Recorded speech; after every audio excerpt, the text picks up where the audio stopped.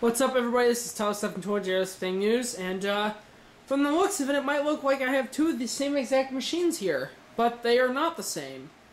These, I'm just going to be showing the uh, differences, father, like father, like son, on these two machines here.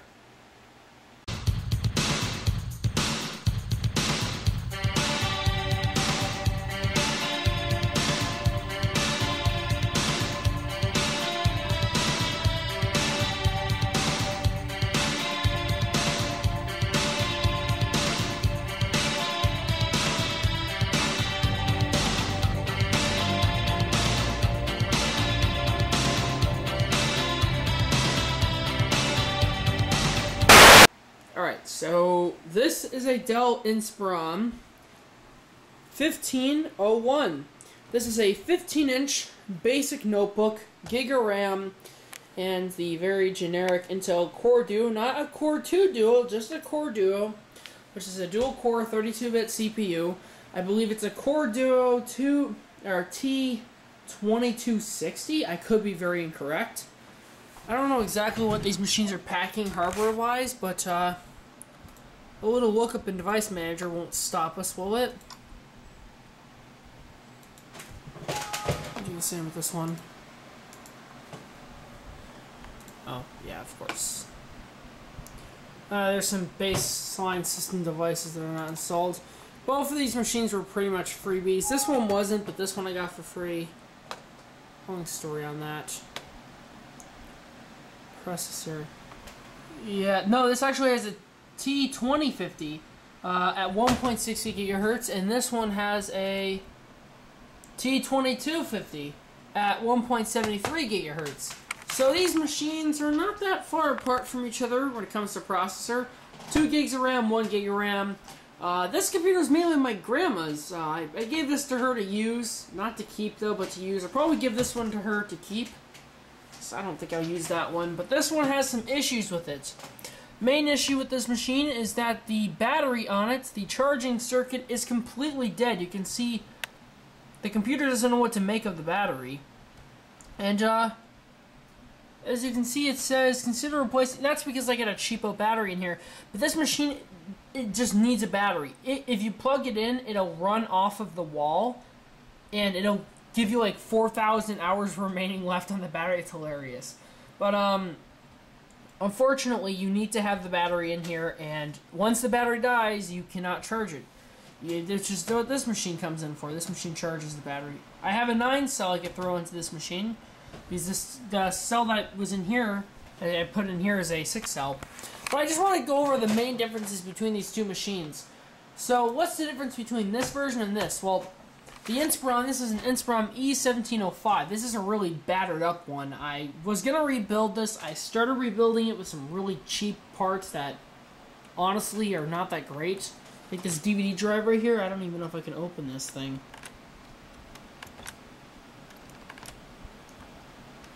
Oh no, I can. Okay. Yeah, see, like, I don't even think this is, like, mounted. Yeah, see? It's not even mounted. So, and the hard drive's not even mounted in there right either. But this machine is fairly upgraded. It's got a 500 gig hard drive, which is actually split into two partitions. I was going to install Ubuntu on here. I never did. Uh, I was actually thinking about installing Windows XP Media Center Edition. Um, that's what I wanted to do. So I wanted to dual boot this machine with Windows uh, XP Media Center Edition, which would actually not be easy to do. Finding that distribution would not be very easy. It would be common so it'd be kind of a pain. But my main goal was to kind of show you the, the key differences. First off, both of these machines have a thing. I it doesn't have it anymore, but there is a, se a secret boot partition where if you press, I don't know what button it was. This button right here, or this one didn't have it. This one did. But when you press this button here, when it turns on, it would actually pull up a menu. You pop a DVD in here, and you could use these buttons to play the DVD and basically it was a DVD player. It's a portable DVD player uh, and a laptop, which is dumb because you can literally just load up Windows, throw a DVD in there, and it'll work. So, what the fuck? Honestly, like, what was Dell trying to do there? I don't know. It was obviously very stupid, so it doesn't really matter. This machine had the partition for it, but it didn't even have the, the, the little button to push down on it, and I couldn't get to it any other way. I ended up flashing the hard drive in this machine, and this machine doesn't even have the stack hard drive. This machine is more oriented to business applications. The EXX uh, 05 models are oriented towards um, multimedia and ultrabook use. This machine, there's actually two models of this machine. There's a 15 inch and a 17 inch. This is the 17 inch. I don't know if you can notice, but this this one is a 15 inch. This is a 17 inch. But uh, one of the key differences in the 15 inch and 17 inch of this model, um, there are some really good sounding speakers in it. I, I will not lie with you. It's even better sounding than the 2015 MacBook Pro. I, I kid you not. Like uh, it sounds amazing. It really does. Let me let me just show you what this sounds like, being that this is a business notebook. I'll play a song here, and you'll see what it sounds like. Uh, let me start from the beginning. All right, here we go.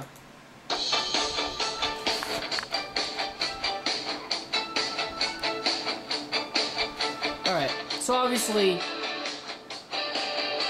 obviously that's really cheesy. All right, well now let's go to this one. Start from the beginning. And we'll see how this sounds. You ready?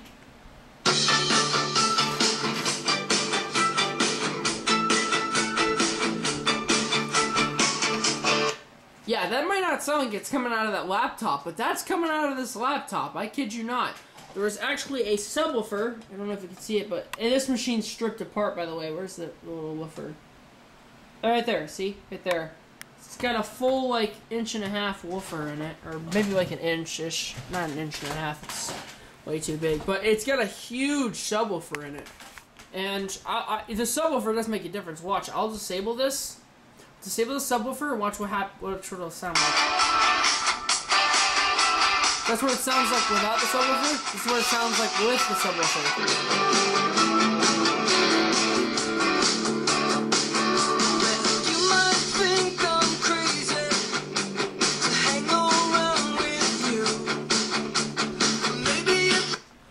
Alright, so obviously this is a really good sounding system. So one of the differences divide these two systems apart. Well, this system has a 900p screen, which uh, the 17-inch version of this laptop does not have a 900p screen. It only has a 768p screen. There's not a 900p screen. I think there might be a 900p screen upgrade, but I'm not entirely sure of the overall um, screen. This actually has a much nicer screen though, besides the fact that there are dead pixels in it. As you can kind of see, there's dead pixels running through here. But uh, this screen is obviously larger resolution, but this is a, uh, a glossy screen. So as you can see, icons are much sharper. With this one, this is a matte screen, so icons are not nearly as sharp. But as you can see, it is a max resolution of 1440 by 900p. So it's not bad. It's not a bad screen. And this machine has a dedicated graphics in it. It's got NVIDIA. I don't even know. Uh, it's weird though because I don't have the right driver installed, but it's one of those like half on, half off deal where you can actually run off of the Intel graphics on here. Then when you go ahead and plug the machine in, it switches over to the dedicated graphics, and I just don't have it set up correctly. So right now it's running off the Intel graphics. But this machine literally, in in the 15-inch model, there's literally two heat sinks, one here, one here, and there's two fans, and basically what happens is the GPU is over here, the GPU and Northbridge connect over here, and the CPU has its own fan right here, and that, it's, it's a very good design. Very, very, very quiet, too. But uh, if this machine is able to be controlled through SpeedFan, so if you go ahead and you want to spin the fan up on this machine, it, it, it does. It's not that loud even at full throttle, but believe it or not, the uh, if you turn the fan all the way up, it, it, it does cool the system down dramatically. It is a very marked improvement. Just to give you an overall performance, even though this is a Core Duo running Windows 7, that, that's not bad. You guys, you guys get gotta admit that's not half bad the system is pretty much running at an idle of 0 to 1%. Of course, all my machines are pretty much flashed and they're running smoothly, so that's not really an issue. So let me close out of these. Let me just see what this is doing. This, this machine doesn't have as good of a CPU, and it doesn't have as good as RAM. But, yeah, see? Pretty much idle. and this only has a gig of RAM, which is a very big limitation on this machine. But it seems to work just fine on that gig of RAM, so screw it, right? Of course, what uh, the graphics are good enough to do this. I am logged on to a different account. This isn't my account, by the way. I just wanted to show you the overall performance of this system. It's it's not bad. Um, the audio is obviously a marked improvement. There's obviously a, a higher resolution screen, which is really nice, and um, a good, better processor, and the baseline RAM is 2 gigs on this machine. Obviously, these machines were made in 05, or 04, no, 05. This machine, the BIOS is completely upgraded. The BIOS is revision A17. So, whoever, my friend gave this to me, but whoever owned this before my friend obviously personally did some upgrades to it because the BIOS was completely not stock and this machine was so loaded with crap. It was unbelievable. It was completely trash. So I went ahead and I uh, formatted the partition and reinstalled it. And that was it.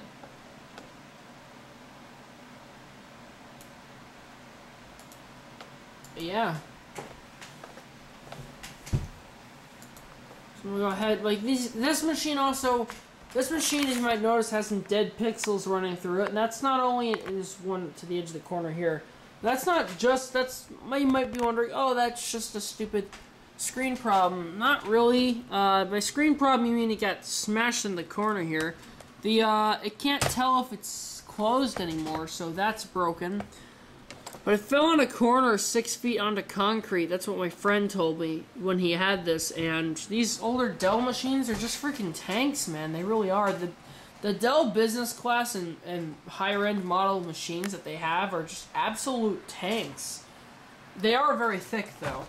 You know the funny part is I all used to own like um I believe I owned the AMD versions of this machine. Um, I owned an AMD version of this machine and two of the same exact models of this machine. I might still have the same exact model up in the attic. Uh, I sold the AMD and the other Core Duo one, but I saved the I saved the Core Duo one with the broken screen because I didn't think it, I would get anything for it, and I was kind of wondering if I could actually put parts into it. I've got the parts right here. Obviously, this is not a very good amount of parts, but if anything, I'll take the parts of the, that old laptop and I'll throw it in here and bam, I can upgrade. Because I know that one does have a full 4 gigs of DDR2 RAM. Uh, it was upgraded. The original owner upgraded to 4 gigs, so that is easily doable. But as for this machine, I don't really know what I'm going to use these laptops for. These machines are good to an extent, we'll put it there. Yeah, they are capable of playing and uh, reading and playing back DVDs, uh, fine. As far as I know, they should be able to do that just fine. If they have any issues with that, then that's pretty stupid. I don't see why it would have issues recording that. Excuse me, I'm really tired. Um, yeah, that's all I really have to say. I'm just gonna shut these machines down. They don't really need to be logged in. Yeah, like I said, this machine doesn't know when it's closed. Oh, crap. Maybe it does. It just kind of minimized there. So I'm going to go ahead and shut these machines down here. Um, these are good machines. This machine's the Wi-Fi card and it's kind of on the fritz. It's about to go. Uh, these buttons light up if you press them, by the way. I always really found that interesting. Um, I, I could have got like 16 of these things from my school. Uh, they're I don't know if they were being recycled or thrown out, but if they were being thrown out, I could have actually taken like a bunch of these things. And uh, a lot of them were just put out for scrap, but I bet I could just take other parts of them and build new ones and stuff out of it. This one tends to get very, very hot in this general location, um, which is weird because uh, maybe that is where the heatsink is. Um, no, over here is where it gets the hottest, so I don't know what's over here. But something over there is, gets really freaking warm. I have no idea what it is. Oh, I probably shouldn't do that while the computer's still on. This machine's hard drive is not the best. It works. Put it in that. Sense that it does work. Definitely not fast. but it does indeed work. But that that screen is actually really nice, actually. You may not be able to see it, but excuse me, I'm really tired. It's kind of early in the morning for me to be making videos. But that screen is a nice, nice, nice, nice uh, metallic, not metallic, uh, glossy screen. Glossy screens are really nice, of course, but when you this is a multimedia machine, you might be wondering, well, what multimedia machines have glossy screens? Technically, yes. This is technically more of an ultrabook, I guess you could say, and it is a multimedia machine in that sense of a multimedia laptop. But um, they put a matte screen on here because let's say you're watching movies on, a, in a train or something, or in a bus, uh, or in a subway station or whatever thing, and light is coming through the windows and shining on your laptop. You can't see crap with a glossy screen. It blares off and it's impossible to see. Matte screens take care of that in a very good way. matter of fact, my lens is extremely dirty. I don't know if you can see that, but I know I can. That's really gross. I'm gonna have to clean that. Uh, yeah, it is really nasty. I, I gotta clean that. Anyhow, I'm gonna end the video here. This is like a 15 minute video. I just wanted to show you guys like these two laptops. I don't have a purpose for them yet. They're look at how robust these look at how robust these things are. Look. For a laptop to make that kind of a sound when it closes, yeah, you don't you don't get that anymore. Uh, this machine has got some power circuit issues actually. I already I think I already discussed that, but yeah. Thanks for watching, comment, subscribe, and I'll see you guys later.